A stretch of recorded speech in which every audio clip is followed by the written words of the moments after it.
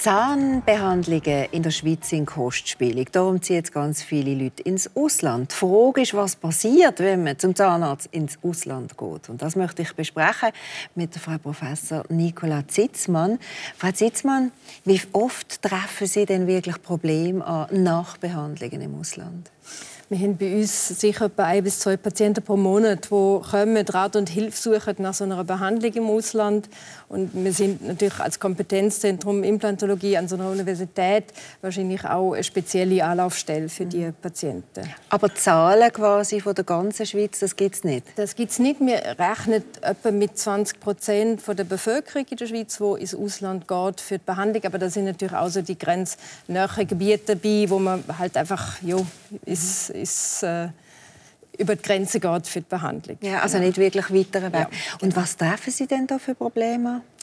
Probleme sind zum einen mal auf chirurgischer Seite, dass das Implantat nicht richtig um Knochen gesetzt ist oder eine Fehlstellung hat, dass man einen Knochenaufbau nicht gemacht hat, obwohl es das vielleicht gebraucht hätte.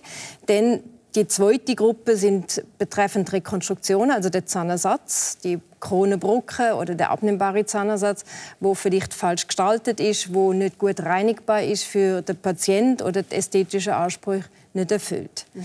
Und der Punkt von der Reinigbarkeit ist ganz entscheidend, wie wir wissen, es, es gibt langfristig eben Probleme, Erkrankungen, wenn die Mundhygiene nicht möglich ist, weil zum Beispiel Kontur einfach so ähm, gestaltet ist, dass man nicht dazukommt.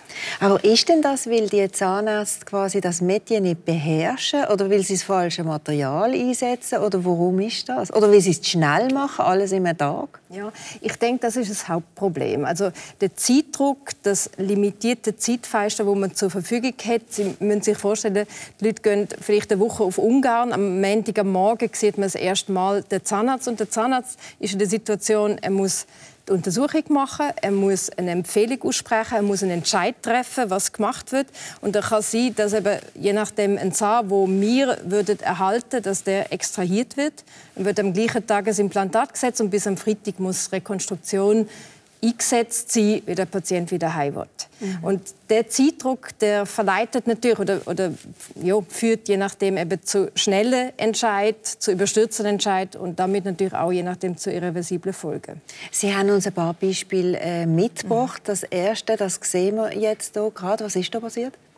Das ist eine Patientin, die das Brasilien-Implantat bekommen hat. Das Implantat steht nur im oberen Teil, da wo jetzt der Kugelschreiber drauf zeigt, im Knochen. Der Rest ist eigentlich im Weichgewebe, also im Zahnfleisch. Und das hätte natürlich zuerst müssen aufgebaut werden, also ein Knochenaufbau gemacht werden. Je nachdem hat man auch die Abwinkelung oder die Positionierung vom Implantat können ähm, modifizieren, also an ein anderes Ort setzen. Aber das sind alles Sachen, wo man vorab in Ruhe muss planen, auch mit so dreidimensionaler Bildgebung, wie wir es da gesehen haben auf dem ähm, auf der Foto. Ja. Also dort hat quasi wie Knochen gefehlt und man hat das einfach reingesetzt. Ja. Dann ist das im Zahnfleisch ja. irgendwo hängen geblieben. Also ja. eigentlich eine gravierende Sache. Jetzt äh, denke ich auch gerade, äh, häufig gibt es ja auch Osteoporose, also Knochenschwund bei älteren Leuten. Wie kritisch ist eigentlich das für Implantat? Knochen ähm, Schwund oder Osteoporose bezieht sich primär auf die ähm, Dichtigkeit vom Knochen. Also die Außenkontur, Außenkontur bleibt bestehen, aber äh, die Spongiose, also die Dicht Dichtigkeit ja, vom Knochen, ist reduziert je nachdem lässt man das Implantat ein bisschen länger einheilen, aber es ist nicht eine Kontraindikation. Also man kann gleich implantieren bei diesen Patienten. Ja. Also bei dem Beispiel, was Sie gesagt haben, ist das einfach falsch gesetzt worden? Es ist einfach falsch gesetzt. Ja. Und genau. dort hat es wahrscheinlich auch so einen Knochenaufbau gebraucht? Ja. ja. Sie haben uns noch ein zweites Beispiel mhm. mitgebracht. Das sieht ganz krass aus eigentlich. Was ja, ist da? Das ist eine Patientin, die äh, auf Südamerika gereist ist, um sich eben eine Implantatversorgung zu äh, machen lassen. Und sie hat äh, sowohl im Frontzahnbereich, das Implantat ist schon verloren, wie auch das, wo wir jetzt da sehen, hat kein Markenhersteller ähm, Implantate bekommen, sondern einfach Osteosyntheseschrauben, wo man sonst für ähm, ja, bei einem Beibruch zum Beispiel für eine Platte würde verwenden. also wo also, gar nicht in Kiefer wo gar nicht in Kiefer ja. gehören, genau. Wo also auch nicht zertifiziert sind als enosales Implantat, also für das Implantat in der Mundhöhle. Ja. Jetzt hat man da für die Schrauben irgendeine Schrauben eingesetzt, die man sonst äh, einsetzt. Jetzt könnte man sagen, ist das ein uralter Fall? Nein, der ist drei Jahre alt. Ja. Und sonst kann man, wenn Sie so krasse Sachen sind, können Sie da überhaupt etwas machen? Wir versuchen natürlich immer zu helfen, aber man muss sich klar sein, gerade wenn es um Extraktionen geht, also wenn Zähne gezogen sind wurden, das ist irreversibel. Da kann man nicht zurück. Und äh, bei der Implantatversorgung ist es oft so, dass wir versuchen zu retten, was zu retten ist. Vielleicht die Rekonstruktion, also die zahntechnische Arbeit neu machen oder müssen neu machen.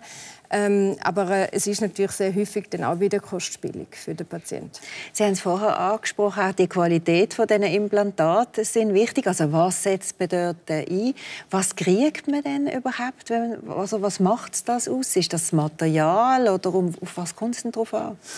Es lohnt sich, auf ein etabliertes System zu setzen. Ich möchte ein System haben, wo mir vor Ort die Teile liefert, wo mir auch eine Qualitätssicherung im Herstellungsprozess kann gewährleisten kann. Ich möchte sicher sein, dass ich, wenn ich in 10, 20 oder 30 Jahren beim gleichen Patienten noch mal eine neue Versorgung muss machen muss, dass ich den Schraubenzieher und die Einzelteile noch bekomme. Ich möchte nicht das Implantat müssen rausnehmen, nur weil die Komponenten nicht mehr erhältlich sind. Mhm. Das denke ich ist wichtig und wir, haben, wir geben dem Patienten immer einen Implantatpass ab, dass er weiß, was er bekommt, dass er die Lotnummer hat, dass man also praktisch auch den Herstellungsprozess kann nachvollziehen kann, wenn irgendwann einmal etwas wäre. Mhm. Wenn man es in der Schweiz macht, gibt es da eine Garantie? Wir haben in der Schweiz die Werkgarantie, wo eigentlich zwei Jahre Garantieansprüche ähm, aufrechterhalten oder sicherstellt. Das bezieht sich aber nur aufs Material, also das, was der Zahntechniker ähm, liefert. Bei den Implantatkomponenten haben wir bei den etablierten Herstellern auch eine Garantie, zum Teil sogar auf Implantatbrüche eine lebenslange Garantie. Und das ist natürlich sicher sehr kulant. Wir können kein... was passiert denn? Passiert so ein Bruch häufig? Nein, das Nein. ist sehr selten. Ja. Und ich denke, das ist auch der Grund, dass der Hersteller äh, das macht, weil er sich sicher ist, dass die Materialien wirklich sehr, sehr gut sind. Ja. Ähm, der andere Bereich, das ist Garantie auf die Behandlung. Das kann man natürlich im medizinischen Bereich nicht geben, weil ein Behandlungserfolg von so vielen individuellen Faktoren abhängig ist, dass man das ähm, nicht kann gewährleisten oder sicherstellen, dass es auch wirklich einen Behandlungserfolg gibt. Also das Einheilen vom mhm. Implantat zum Beispiel. Zähne sind natürlich wichtig. Wir müssen können essen damit. Das mhm. tut man häufig unterschätzen. Und trotzdem die Frage, machen wir vielleicht auch eine Portion zu viel mit unseren Zähnen? Also wird auch bei uns in der Schweiz zum Teil überbehandelt, was gar nicht nötig ist. Ich denke, dass wir in der Schweiz wirklich immer auf den Zahnerhalt setzen. Also wirklich erstmal alles tun, um einen Zahn zu therapieren. Bei der Parodontitis, also bei der Erkrankung vom Zahnhalteapparat, kennt man das. Ein Zahn ist vielleicht am Anfang Lock gewackelt. Dann gibt es eine Therapie, da muss man halt einfach drei bis sechs Monate Geduld haben, man muss mitschaffen. Und wir wissen heute, dass wir 90 Prozent der Zähne, die aufgrund von einer Entzündung beweglich sind, können erhalten durch Therapie. Also mhm. der Schritt zur Extraktion braucht bei uns in der Regel eigentlich sehr viel länger. Mhm.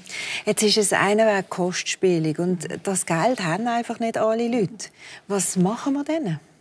Ich denke, man sollte klar mit seinem Zahnarzt in der Schweiz besprechen, was habe ich für Möglichkeiten. Das ist mein Budget und das ist mein Wunsch. Man muss sich im Klaren sein, dass jedes Implantat eine Wahlleistung. Es gibt in der rekonstruktiven Zahnmedizin, also in der Prothetik, haben wir Bevor es Implantat hat, haben wir auch Mittel und Wege gefunden, auf relativ einfache Art und Weise dem Patienten zu helfen. Jetzt mit dem Implantat kann man zum Teil ganz lokal ein Problem lösen. Man muss nicht unbedingt Zähne rekonstruieren bis hintere, bis zum siebten oder bis zum Weisheitszahn. Mhm.